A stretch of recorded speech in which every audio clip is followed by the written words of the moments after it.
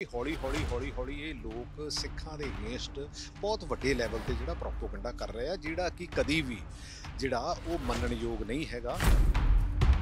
ਫਲਾਉਣ ਵਾਲੇ ਪਿੱਛੇ ਕੌਣ ਆ? ਤੁਹਾਨੂੰ ਕੀ ਲੱਗਦਾ? ਆਈਟੀ ਸੈੱਲ ਹੈ ਕਿਸੇ ਤਰ੍ਹਾਂ ਦੇ ਜਾਂ ਕੌਣ? ਹੈਗੀ ਆ ਬੇਸਿਕਲੀ ਜਿੱਦਾਂ ਹੁਣ ਉਹ ਕੰਗਣਾ ਰਣੌਤ ਜੀ ਹੈਗੇ ਆ। 4 ਮਹੀਨੇ ਪਹਿਲਾਂ ਸ਼ਿਕਾਇਤ ਜਿਹੜਾ ਏਡੀਜੀਪੀ ਸਾਈਬਰ ਕ੍ਰਾਈਮ ਨੂੰ ਦਿੱਤੀ ਸੀ ਔਰ ਈਵਨ ਕਿ ਐਸਜੀਪੀਸੀ ਨੇ ਵੀ ਇਹਦੇ ਤੇ ਸ਼ਿਕਾਇਤ ਕੀਤੀ ਸੀ, ਪਰ ਉਹਦੇ ਬਾਵਜੂਦ ਵੀ ਉਹਦੇ ਤੇ ਕਿਸੇ ਨੇ ਕੋਈ ਐਕਟ ਨਹੀਂ ਕੀਤਾ। ਜਿਹੜਾ ਧਰਮ ਜਿਹੜਾ, ਉਹ ਪਹਿਲਾਂ ਦੂਜੇ ਧਰਮ ਦੀ ਇੱਜ਼ਤ ਕਰਨਾ ਸਿਖਾਉਂਦਾ। ਸੱਚੀ ਗੱਲ ਹੈ, ਉਹ ਜਿਹੜੀਆਂ ਸਾਨੂੰ ਗੁੜਤੀ 'ਚ ਚੀਜ਼ਾਂ ਮਿਲੀਆਂ ਆ, ਅਸੀਂ ਉਹਦੇ ਖਿਲਾਫ ਨਹੀਂ ਹੋ ਸਕਦੇ। ਲੇਕਿਨ ਤੁਸੀਂ ਪਾਰਟਿਕੂਲਰ ਕਮਿਊਨਿਟੀ ਨੂੰ ਟਾਰਗੇਟ ਕਰਕੇ ਤਾਂ ਉਹਦੇ ਤੇ ਹੇਟ ਫਲਾਉਣੀ ਜਿਹੜੀ ਆ, ਉਹ ਕਦੀ ਵੀ ਵਾਜਬ ਨਹੀਂ ਹੈ। ਵਿਧਾਨ ਸਭਾ ਸੈਸ਼ਨ ਦੌਰਾਨ ਐਮਐਲਏ ਪ੍ਰਗਟ ਸਿੰਘ ਹੁਣਾਂ ਨੇ ਇੱਕ ਅਹਿਮ ਮੁੱਦਾ ਚੁੱਕਿਆ। ਉਹਨਾਂ ਨੇ ਜ਼ਿਕਰ ਕੀਤਾ ਕਿ ਜੋ ਸਿੱਖਾਂ ਖਿਲਾਫ ਨਫ਼ਰਤ ਫੈਲਾਈ ਜਾ ਰਹੀ ਹੈ, ਇਸ ਨੂੰ ਰੋਕਿਆ ਜਾਣਾ ਚਾਹੀਦਾ ਔਰ ਜ਼ਿਕਰ ਉਹਨਾਂ ਨੇ ਐਸਜੀਪੀਸੀ ਵੱਲੋਂ ਕੀਤੀ ਗਈ, ਸ਼ਿਕਾਇਤ ਦਾ ਵੀ ਕੀਤਾ। ਨਾਲ ਹੀ ਉਹਨਾਂ ਨੇ ਆਪ ਵੀ ਸ਼ਿਕਾਇਤ ਕੀਤੀ ਹੈ, ਗੱਲਬਾਤ ਕਰਦੇ ਹਾਂ। ਪ੍ਰਗਟ ਜੀ, ਤੁਸੀਂ ਬਹੁਤ ਅਹਿਮ ਸੰਜੀਦਗੀ ਦੇ ਨਾਲ ਇੱਕ ਮੁੱਦਾ ਚੁੱਕਿਆ ਕਿ ਸਿੱਖਾਂ ਦੇ ਖਿਲਾਫ ਹੇਟ ਫੈਲਾਈ ਜਾ ਰਹੀ ਹੈ। ਟਵਿੱਟਰ ਦੇ ਉੱਪਰ ਵੀ, ਲਗਾਤਾਰ ਐਕਸ ਦੇ ਉੱਪਰ ਵੀ, ਹੋਰ ਵੀ ਸੋਸ਼ਲ ਮੀਡੀਆ ਪਲੇਟਫਾਰਮਸ ਦੇ ਜ਼ਰੀਏ। ਔਰ ਕੀ, ਕਿਸ ਤਰੀਕੇ ਦੀ ਤੁਸੀਂ ਸੋਚਦੇ ਹੋ ਕਿ ਪਲੈਨਿੰਗ ਹੋਵੇ ਇਸ ਨੂੰ ਰੋਕਣ ਦੇ ਲਈ? ਕਿਉਂਕਿ ਲਗਾਤਾਰ ਸਪਰੈਡ ਹੋ ਰਹੀਆਂ ਨੇ ਇਹ ਚੀਜ਼ਾਂ ਔਰ ਇਸ ਨੂੰ ਰੋਕਣ ਲਈ ਕੋਈ ਨਾ ਤਾਂ ਕਦਮ ਚੁੱਕਿਆ ਜਾ ਰਿਹਾ ਔਰ ਨਾ ਹੀ ਇੱਥੇ ਕੋਈ ਬ੍ਰੇਕ ਲੱਗ ਰਹੀ ਹੈ।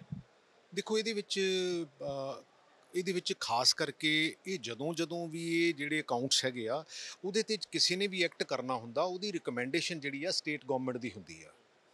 ਲੇਕਿਨ ਸਟੇਟ ਗਵਰਨਮੈਂਟ ਦੀ ਜਿਹੜੀ ਆ, ਕਿਉਂਕਿ ਮੈਂ 4 ਮਹੀਨੇ ਪਹਿਲਾਂ ਸ਼ਿਕਾਇਤ ਜਿਹੜਾ ਏਡੀਜੀਪੀ ਸਾਈਬਰ ਕ੍ਰਾਈਮ ਨੂੰ ਦਿੱਤੀ ਸੀ ਔਰ ਈਵਨ ਕਿ ਐਸਜੀਪੀਸੀ ਨੇ ਵੀ ਇਹਦੇ ਤੇ ਸ਼ਿਕਾਇਤ ਕੀਤੀ ਸੀ, ਪਰ ਉਹਦੇ ਬਾਵਜੂਦ ਵੀ ਉਹਦੇ ਤੇ ਕਿਸੇ ਨੇ ਕੋਈ ਐਕਟ ਨਹੀਂ ਕੀਤਾ ਔਰ ਉਹਦਾ ਨਤੀਜਾ ਔਰ ਉਹਦਾ ਨਜ਼ਰੀਆ ਇਹ ਨਿਕਲਿਆ ਵੀ ਹੌਲੀ ਹੌਲੀ ਹੌਲੀ ਹੌਲੀ ਇਹ ਲੋਕ ਸਿੱਖਾਂ ਦੇ ਅਗੇਂਸਟ ਬਹੁਤ ਵੱਡੇ ਲੈਵਲ ਤੇ ਜਿਹੜਾ ਪ੍ਰੋਪਗੈਂਡਾ ਕਰ ਰਹੇ ਆ, ਜਿਹੜਾ ਕਿ ਕਦੀ ਵੀ ਜਿਹੜਾ ਉਹ ਮੰਨਣਯੋਗ ਨਹੀਂ ਹੈਗਾ ਔਰ ਦੂਸਰੀ ਗੱਲ ਹੈ ਕਿ ਇਹਨਾਂ ਦੇ ਆਮ ਆਦਮੀ ਪਾਰਟੀ ਦੇ ਰਾਜ ਸਭਾ ਮੈਂਬਰ ਸਾਨੀ ਸਾਹਿਬ ਨੇ ਵੀ ਇਹ ਦਿੱਲੀ ਚੱਕਿਆ ਸੀਗਾ।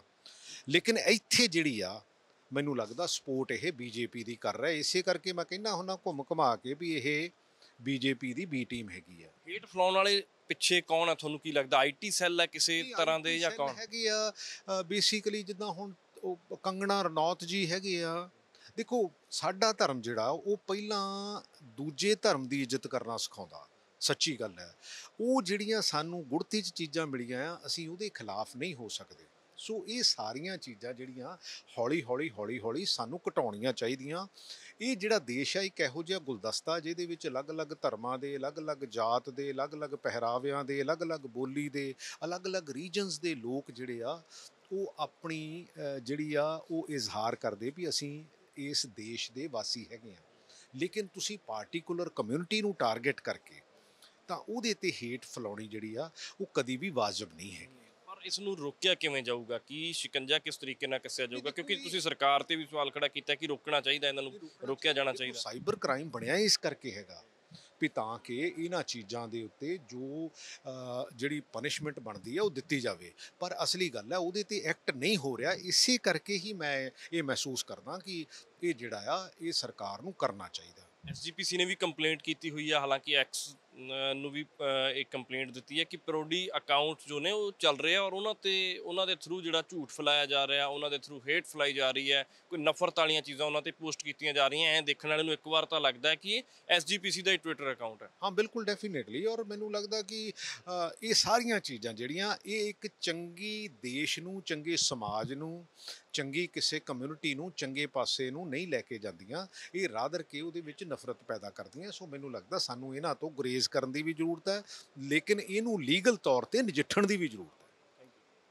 ਤਾਂ ਪ੍ਰਗਟ ਸਿੰਘ ਸਾਡੇ ਨਾਲ ਸੀਗੇ ਔਰ ਉਹਨਾਂ ਨੇ ਕਿਹਾ ਕਿ ਜਿਸ ਤਰੀਕੇ ਨਾਲ ਸਿੱਖਾਂ ਦੇ ਖਿਲਾਫ ਨਫ਼ਰਤ ਫੈਲਾਈ ਜਾ ਰਹੀ ਹੈ, ਇਸ ਨੂੰ ਰੋਕਿਆ ਜਾਣਾ ਚਾਹੀਦਾ ਹੈ ਔਰ ਸਰਕਾਰ ਨੂੰ ਚਾਹੀਦਾ ਹੈ ਕਿ ਸੰਜੀਦਾ ਹੋ ਕੇ ਇਸ ਮਸਲੇ ਦੇ ਉੱਪਰ ਠੋਸ ਕਦਮ ਚੁੱਕੇ ਜਾਣ। ਕੈਮਰਾ ਪਰਸਨ ਦਵਿੰਦਰ ਦੇ ਨਾਲ ਵਿਕਰਮ ਸਿੰਘ, ਪ੍ਰੋ ਪੰਜਾਬ ਟੀਵੀ, ਚੰਡੀਗੜ੍ਹ।